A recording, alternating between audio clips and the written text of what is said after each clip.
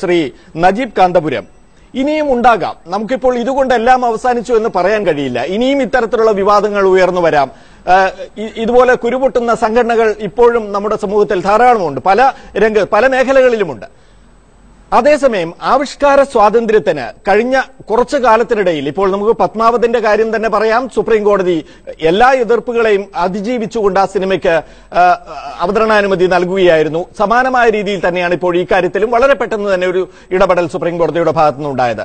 നിയമം കൊണ്ട് നീതി കൊണ്ട് പലരെയും അടക്കി നിർത്താൻ കഴിയുമെന്ന പ്രതീക്ഷ നമുക്ക് വച്ചു പുലർത്താനാവും പ്രമോദ് ഈ കാര്യത്തിൽ എനിക്ക് വളരെ സന്തോഷമുള്ള ഒരു കാര്യം. നമ്മളൊരു ഗാനത്തെയും ഒരു സിനിമയും ഒക്കെ ആ ഒരു കലാരൂപമായി കാണുകയാണെങ്കിൽ ഇത്തരത്തിലുള്ള ഒരു ആശങ്കക്കും ഒരു പ്രസക്തിയുമില്ല. ഇത്തരത്തിൽ ആളുകൾ വെറുതെ അതിനെ വളച്ചുകെട്ടി ആളുകൾക്കിടയിൽ വിഭാഗീയതയും പ്രശ്നങ്ങളും ഉണ്ടാക്കേണ്ട കാര്യമില്ല.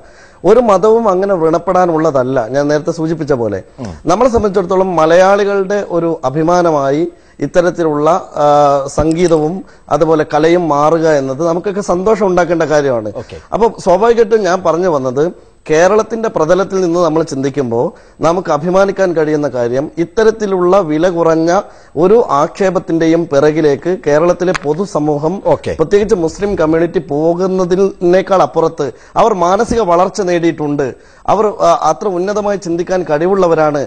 അവരുടെ പ്രവാചകനെയോ അല്ലെങ്കിൽ അവരുടെ വിശ്വാസത്തെയോ അത്തരമൊരു കണ്ണിറുക്കൽ കൊണ്ട് അപമാനിക്കാൻ കഴിയുന്നതല്ല എന്ന ബോധ്യം തന്നെ തീർച്ചയായും. അത് തന്നെയാകണം അഭിമാനകരമായ വിശ്വാസം ഒരു എന്നാണ് അത്ര അത്ര അടിയുറച്ച വിശ്വാസമാണ് ഒരു വിശ്വാസിക്ക് വേണ്ടത്. അല്ലാതെ പെട്ടെന്ന് വ്ര- വ്രണപ്പെടുന്ന പരിമിതമായ കാര്യങ്ങൾ കൊണ്ട് വളരെ ചെറിയ വിഷയങ്ങളിൽ വ്രണപ്പെട്ടു പോകുന്ന വിശ്വാസവും വികാരവുമല്ല ഒരു വിശ്വാസിക്ക് ആവശ്യം എന്ന് തന്നെയാണ് പറയാനാവുക. വളരെയധികം നന്ദി. ചർച്ചയിൽ ചേർന്നതിന് ശ്രീ ഒമർ ലുലു ശ്രീ നജീബ് കാന്തപുരം ഒപ്പം പ്രിയ വാര്യ ഒൻപത് മണി ചർച്ച പൂർണമാകുന്നു.